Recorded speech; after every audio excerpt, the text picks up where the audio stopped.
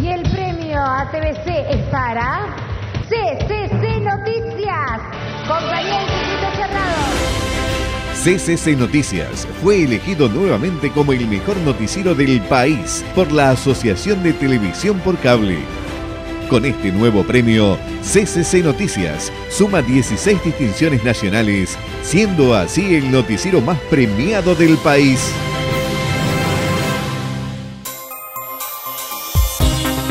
Categoría 3, compañía de circuitos cerrados, Tucumán. De la compañía de circuitos cerrados Tucumán. CCC Noticias, Canal 3 en compañía de circuitos cerrados SA San Miguel. CCC Noticias, Canal 12 Compañía de Circuitos Cerrados Sociedad Anónima, San Miguel de Tucumán. CCC Noticias, Canal 12 Compañía de Circuitos Cerrados. Felicitaciones. El premio a TVC es para CCC Noticias, compañía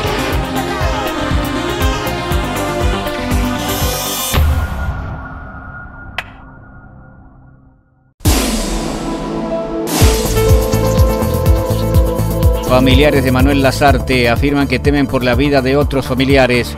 Vinculan las muertes de los dos policías caídos. Emiliano Vargas Ainaz, concejal capitalino Partido Justicialista. Se creó el nuevo boletín oficial del municipio capitalino. Agustín Romano Norri, concejal capitalino Unión Cívica Radical.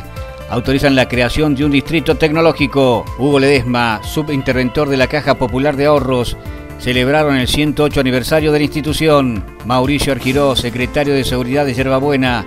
El 24 de julio abrirán una nueva inscripción para la Guardia Urbana. Intendencia de la capital, visita protocolar. Alfaro recibió al ex canciller Jorge Fourier. Cecilia Guerra, directora de la Casa Histórica. Tuvieron más de 10.000 visitas entre el 9 y el 11 de julio. Casa Histórica, activa temporada de invierno. Turistas de todo el país visitan el museo. José Argañarás, concejal capitalino, Unión Cívica Radical, criticó a los empresarios del transporte de pasajeros. Muy preocupada se mostró la familia de Manuel Lazarte, el policía asesinado unos días atrás. Temen por la seguridad de la familia. Yo, a mí como madre, nadie me va a sacar de mi corazón que a mi hijo lo han matado por solo hecho de ser policía, porque él no tenía problema con nadie. A mi hijo lo han matado por venganza, porque supuestamente decían de que, de que él ha mandado hacer allanamiento después de la muerte de, de Sánchez. ¿Quién decía eso? La gente habla y bueno, no fue llega al oído.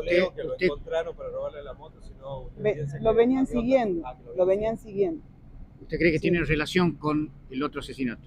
Sí, porque decían que le iban a dar el vuelto a los policías. Estoy muerta en vida porque a pesar de que tengo otros hijos, él era muy especial para mí, él era todo para mí. Sí, Yo por mí no tengo miedo porque yo ya soy grande y bueno, pero por mis hijos sí, por mis hijos sí. Pero la policía está en todo momento con nosotros. este, El Consejo Deliberante aprobó para el municipio de la capital la generación de un boletín oficial digital. con lo que consideramos que, que- que es fundamental eh, el acceso a la información pública, ese acceso que sea fácil, que sea ágil. Entonces lo que hemos hecho es el- una nueva creación de un boletín oficial que tenga dos formatos, un formato papel y un formato digital. Ese formato digital va a ser creado por el área de la Secretaría de Gobierno de la Municipalidad mediante una página web que va a permitir el acceso a todas las eh, acciones de gobierno es decir, a los edictos, las licitaciones, las contrataciones, la propaganda, la publicidad, de manera inmediata. Es un, formato papel y un formato digital que en, lo que tiene que ver con el formato digital va a contar con la, con la firma eh, digital, que eso está contemplado en la ley 7912. eh, y también eh, el Consejo Deliberante tiene que volcar eh, las ordenanzas, los proyectos de resolución y las declaraciones. Esto es semanalmente, eh, aquellos funcionarios del área ejecutiva que tengan el rango de secretaría eh, van a tener que volcar eh, cada una de sus áreas para que eh, quede en la, página web y eso tiene que ser también trasladado mediante un pendrive al Consejo Deliberante de, de San Miguel de Tucumán.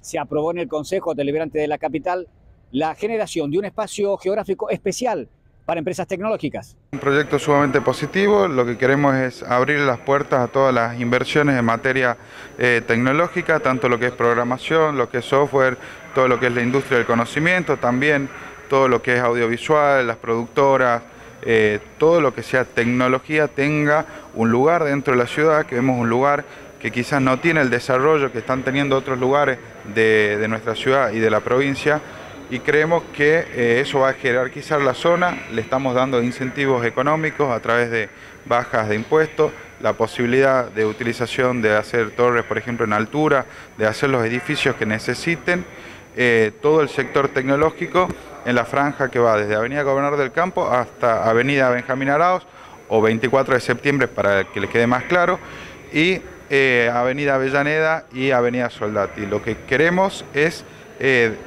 que nuestro municipio se ayorne a la legislación que tiene cualquier eh, ciudad industrial que hoy las industrias han cambiado, digamos, no necesitamos tener mucho lugar físico, sino darle las condiciones adecuadas, tanto económicas como edilicias, para que puedan eh, invertir en nuestra ciudad y creo que, eh, ¿por qué lo vemos como un punto estratégico? Porque por la cercanía que tiene, por la conectividad que tiene eh, dentro de la ciudad y como lo digo, creo que es una parte de la ciudad que no ha tenido el desarrollo que quizás sí lo tuvo las cuatro avenidas, por ejemplo, y esto nos viene a, viene a colaborar en eso, ¿no? La Caja Popular de Ahorros celebró su centésimo octavo aniversario. Muy contento en un día tan especial como es hoy para todos los empleados, todos los trabajadores de Caja Popular y bueno, para todos los tucumanas y tucumanas que ven a la Caja Popular, como decían recién, eh, la última joya de la abuela, como una institución señera acá en Tucumán y que, bueno, siempre al servicio de los tucumanos. ¿no? Bueno, la verdad que Caja Popular viene desarrollando en este sus 108 años, la verdad que una tarea importantísima. Nos tocó en momentos, por ejemplo, como la pandemia, que se recordaba recién, eh, Caja Popular está presente en toda la provincia, con nodo de vacunación, con puestos sanitarios, con cajero automático que tuvimos que salir a desplegar por toda la provincia, yendo a, los pueblos más alejados y cumpliendo un rol importantísimo y, con un gran apoyo de todos los trabajadores, de las mujeres, de, los hombres de Caja Popular de Ahorro. La verdad que Caja Popular viene cumpliendo un rol, estamos orgullosos de lo que se viene dando, hay mucho por hacer, pero se ha hecho mucho también. Y siempre eh, los trabajadores de Caja Popular, vuelvo a resaltar, eh, dando la nota y la verdad que siempre estando a la altura de las circunstancias. A partir del 24 de julio estarán abiertas las inscripciones para aquellos interesados en formar parte de la Guardia Urbana Municipal de Yerbabuena. Tiene que crecer la cantidad de guardias atentos que hemos ido este, adquiriendo nuevas capacidades y nuevos compromisos eh, en relación a, la gestión del espacio público en, el municipio y esto requiere de más personal, claramente. También tiene que ingresar a la página del municipio de Yerrobuena, donde se le establece eh, cuál es el programa eh, para poder prepararse a fin de rendir el examen de ingreso al curso.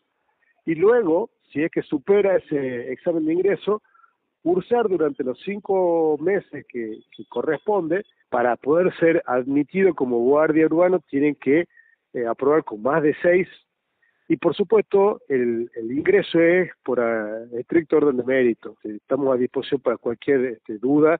Pueden entrar a la página de la, de la municipalidad a partir del día 24, que ya va a estar este, las inscripciones abiertas.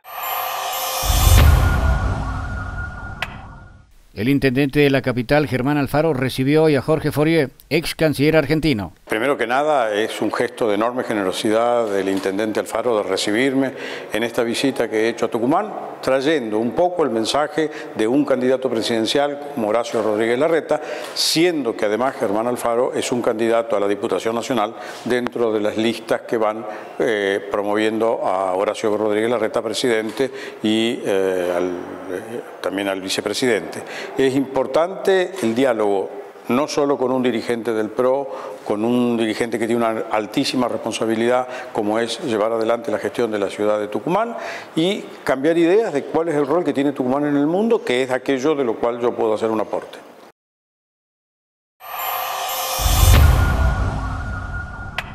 Comenzó la temporada de invierno en Casa Histórica y entre el 9 y el 11 de julio más de 10.000 personas visitaron la Casa Museo. Muy contentos con la cantidad de gente que nos está acompañando. La verdad que desde el 9 de julio que no han parado de llegar visitantes, tanto de acá de la provincia como de otras provincias como Mendoza, Córdoba, que nos están visitando. Muy felices eh, porque además no han sido los mejores días climatológicamente hablando, mucha lluvia y lo mismo la gente ha venido. De hecho, tanto el 9 de julio como el 10, a pesar de la lluvia, no se suspendió el espectáculo de luces y sonidos porque la gente realmente pedía que, no se suspendiera. Todos los días de 9 a 19 horas, horario corrido. Así que entre las 9 y las 19 el acceso es gratuito, las actividades que se hagan son gratuitas.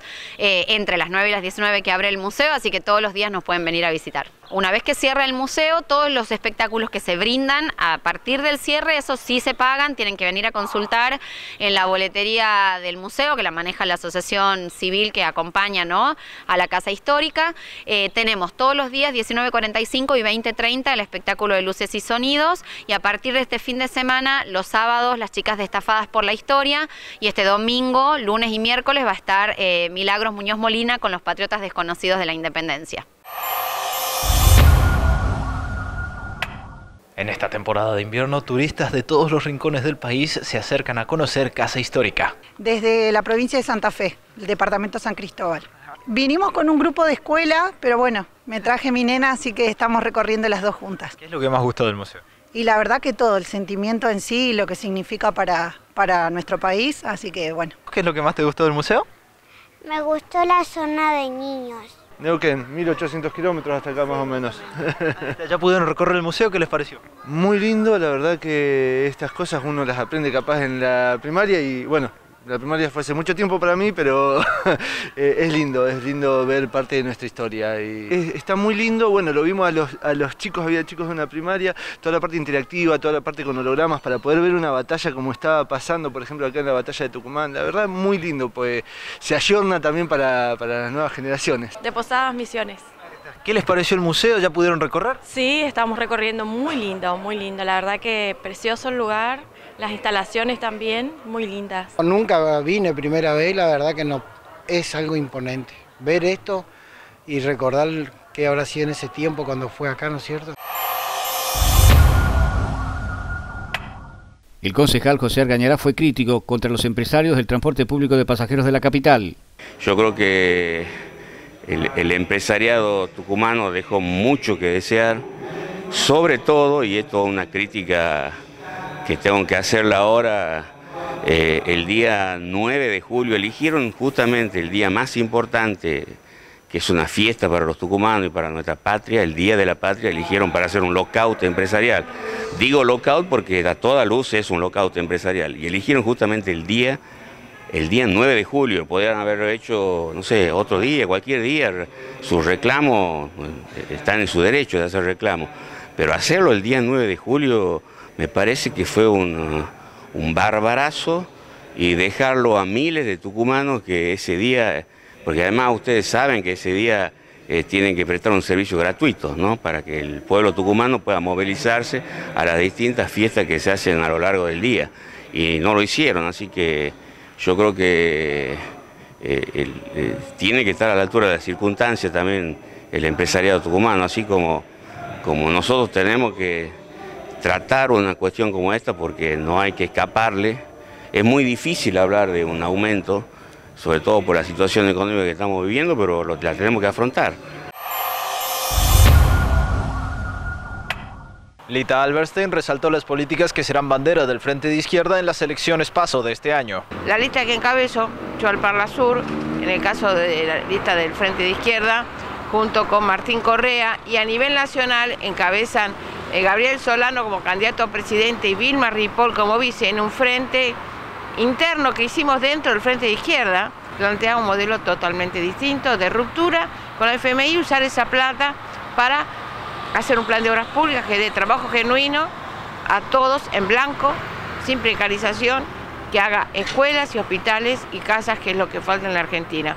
En segundo lugar, proponemos un ajuste real a la casta política, que es que se bajen los sueldos todos los funcionarios y jueces. Nosotros planteamos estatizar todos los recursos este, que fueron privatizados, como el petróleo, el gas. Nosotros creemos que la izquierda somos los que nos plantamos ante el poder y estamos confiados en que un sector de la población muy importante va a buscar algo nuevo. El Museo Mercedes Sosa Casa Natal realizó actividades especiales para celebrar un nuevo cumpleaños de la icónica cantante. De maravilla, la verdad que no nos esperábamos conmemorarla a Mercedes en sus 88 años que hubiese cumplido. Hemos elegido el día de hoy debido a que el 9 de julio es su fecha pero con los festejos del Día Patria lo hemos trasladado para este día, ¿sí? Desde que abrimos el museo, una cantidad de extranjeros, tuvimos de Estados Unidos ya esta mañana la presencia, nos dejaron unas, eh, unas anotaciones muy lindas, con muchas emociones, así que muy contento, muchísimos turistas. Los horarios, eh, normalmente los días lunes está cerrado, pero de martes a sábado, domingo y feriados estamos de las 9 y media hasta las 2 y 30 y después de las 15 hasta las 17 y 30. Está preparado para que se los reciban con unos muy buenos guías y bueno, con todo lo que es, lo que es, digamos, la voz, la música del legado de Mercedes que nos ha dejado. Entonces está plasmado en cada una de las salas de las habitaciones, es con las pantallas táctiles y con la sala de video que estamos ubicados en el pasaje Calixto del Corro, 344, entre Guatemala y Cuba. El bullying es responsabilidad de los padres o de las instituciones a las que asisten los niños. Este es el análisis del secretario de Participación Ciudadana, José Farhat. Cuando hablamos de bullying, tenemos que traducirlo. El bullying es una violencia, es un acto discriminatorio, eh, es un desbalance de poder que se da en los primeros años de vida, que se da entre menores de edad. Siempre mirándolo que la respuesta es en red que la respuesta tiene que ser colaborativa, tiene que ser pensada eh, desde una estrategia de convivencia, de cultura de paz. ¿Dónde está la responsabilidad? La responsabilidad está compartida, eh, es, una, es una mirada de abordaje y acompañamiento que nace desde los familiares, en los modelos ecológicos de prevención, se mira a la persona primero, en este caso puede ser la víctima o el victimario, se ve cómo está compuesto su núcleo familiar, después cuál es su vinculación en tanto lo comunitario, es decir, en lo barrial y también en lo societario ya incorporando la escuela. Y también todo lo que referencia en lo exosocial, es decir, toda esa cultura que viene de la televisión, que viene de las redes sociales. Por eso tenemos que tomar con responsabilidad desde el mundo adulto cómo estamos construyendo las vinculaciones, cuáles son las palabras que utilizamos. Cuando salimos también estamos manejando y los niños ven si nuestros actos son violentos o no. La violencia está en la sociedad y tenemos que desactivarla. Y para eso tenemos que poner en la centralidad la cultura de paz transformadora y participativa. El jefe de policía desmintió un sumario contra el policía que arriesgó su vida en un intento de asalto en un bar.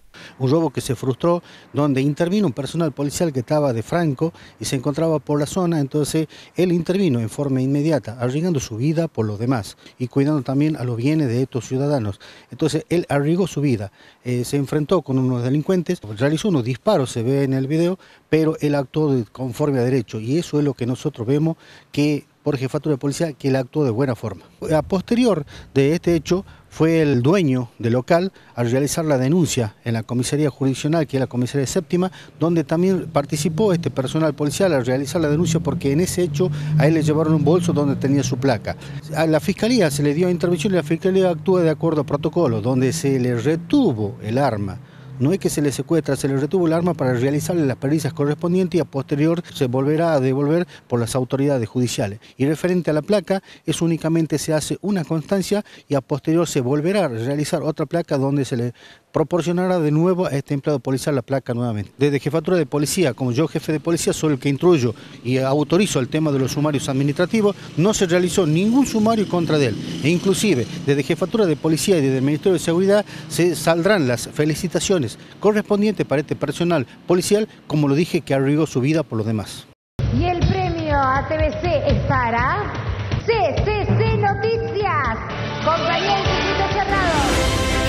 CCC Noticias fue elegido nuevamente como el mejor noticiero del país por la Asociación de Televisión por Cable.